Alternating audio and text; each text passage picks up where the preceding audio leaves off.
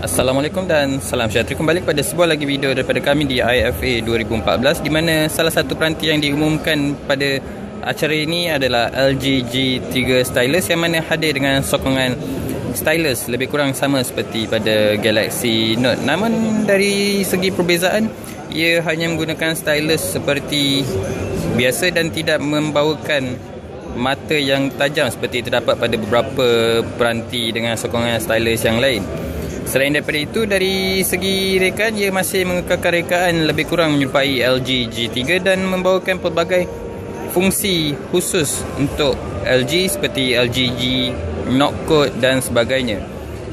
Bahagian tepi peranti ini bebas daripada sebarang butang dan semua butang hanya diletakkan pada bahagian belakang peranti.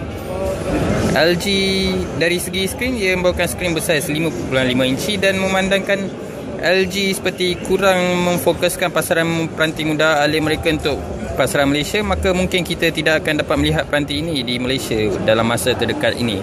Jadi ini adalah pandang pertama secara ringkas kami untuk LG G3 Stylus.